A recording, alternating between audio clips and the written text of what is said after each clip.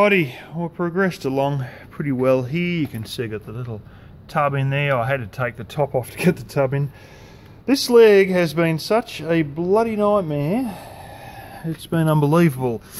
Um, it, it is a lot to do with the fact I have uh, button head screws. They're more, you know, almost like your wafer style screw. Uh, very similar to wafers actually, they're just a little bit flatter on the top. Um, and uh, I don't know if you can quite pick it up, but you can see it isn't exactly in line with the original hinge point. See, the trouble is the hinge is made for bugle head screws, and I'm using flat ones. And uh, yeah, it doesn't sort of quite like it. So I realised that with this uh, steel foot there, I was going to be punching a hole in the lino, so I had to put a bit of this here. Now, of course, that thickened it, no big deal. You know, I just got on the uh, bench grinder and, and ground a, you know, wow, not even a quarter inch off the end. Uh, and uh, all seemed to be fine, except uh, then it, when I screwed it back on, because I just took out these screws, and you get, this is hammered in fairly hard into there so then I just you know took it in and and ground the end off and then I put it all back together and instead of bloody sitting in the middle because I had it sitting like that all night to press the silicon down because that piece is silicon on there uh, that's an old bit of chopping board by the way in case you didn't realise when I screwed it back in the bloody thing's sitting over here and I couldn't get it to play ball. And uh, then I realised it's actually to do with the fact that the you know the hinge is not 100% in position. So what if I was to get this and drill new holes? That sounds good, but they're going to be about 1 16th of an inch off, and the new screws will just break through into the original holes and you bug it again. I do have hinges that are longer that would probably mount up here, but then it would be out here, and I'd have to do a whole new piece of wood just to do that. In the meantime, I've got this screw here, which sort of keeps this far enough across that it fits into this and it also goes into the hole that's drilled for it there. Now you've always got to realise that this is not going to fold as a perfect 90 degrees. So when you drill holes lower down which that's full of acrylic gap sealer at the moment I've sort of re-strengthened this with this on the back um, it doesn't sort of quite line up. Um, so word of advice use a bit of uh, plastic to scrape it flat, not uh, do it in the dark with a piece of paper and then leave big dips in there, but I'll just refill that up, doesn't matter anyway. Um, yeah, having said that, bit of foam weather seal there, holds the tank in bloody perfectly.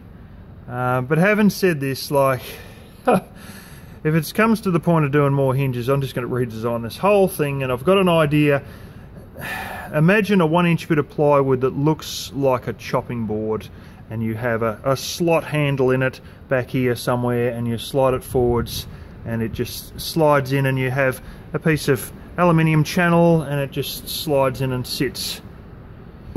And uh, I tell you what I would be doing all three legs like this if I ever completely rebuilt this. Uh, which in who knows? Uh, yeah, maybe in another five years or something.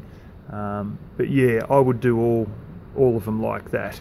Just basically great big bits of one inch plywood that are big on one end and have a little slot hole handle on the other end and uh, hopefully uh, little bits of channel all underneath and hopefully that would fix the issue. Anyway, I've been working on the stuff for the stove and whatnot on this side here and just take a note of the way have a little trim here and we have this.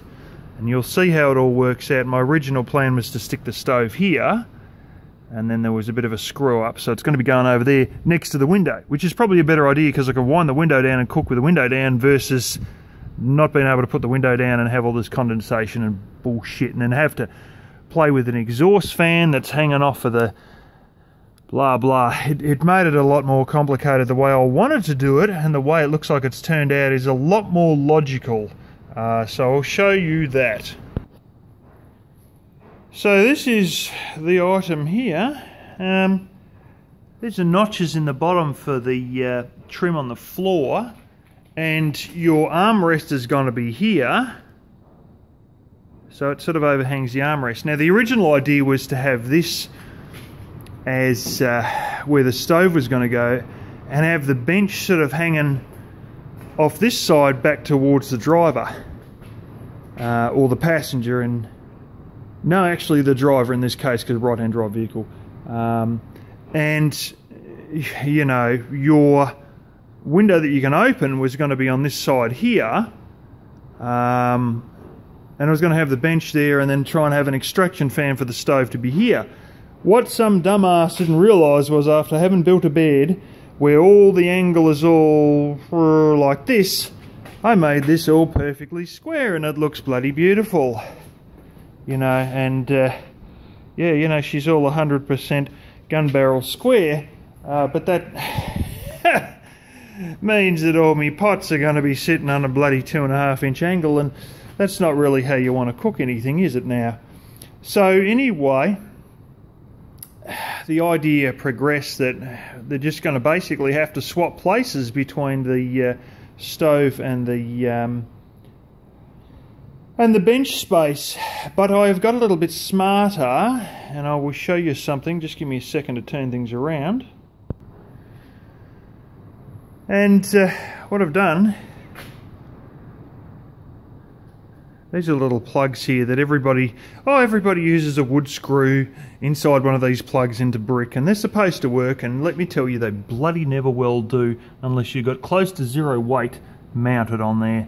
And, uh, well, anyway, the freezer is going to go in the front here, so I couldn't really have much tall stuff, and I was worried about the, you know, not having enough with just this little crappy strip in the front. Uh, is it going to flex too much? Uh, well, it's it's not too much of a distance. Nah, so what we've done was we put a nylon strap on the bottom and that holds it at least from stretching out any further. Uh, the reality is that this here is actually mounted on uh, those little bits and I've got one of those on each side. Now, hold on for a second again. I'm going to show you why I have these and uh, it all makes sense in a minute. So, that cement sheet and the stove sits on this cement sheet on plywood. Watch this.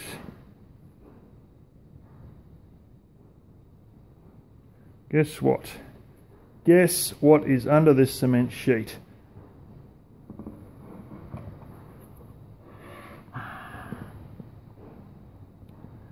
Ground back screws that are countersunk into the plywood that line up. Oh, this is shaking. And go in. And, uh, and I'll grab this side. And there we go. Bingo. So there you go.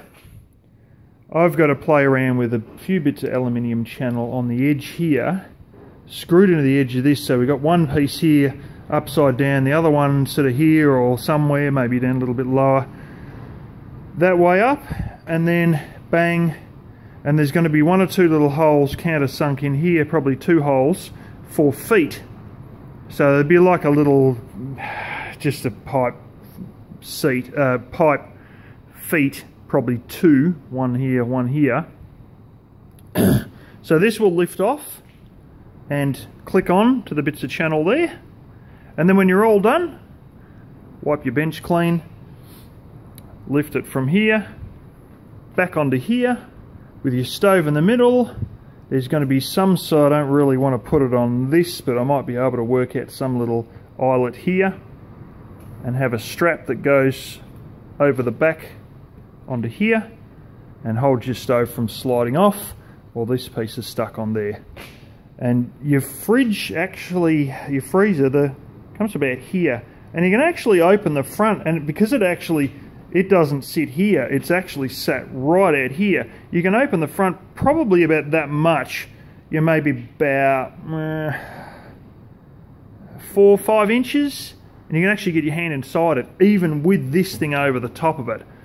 And uh, yeah so that's worked out bloody fantastically, except for the whole part where my bench is going to be on the lean and I've got to make me feet the appropriate height to get this level and then this will be on the side that the uh, window, electric window is so I'll be able to drop it down a bit as I'm cooking and probably have a fan on the bed or on the bed frame to blow out of the vehicle.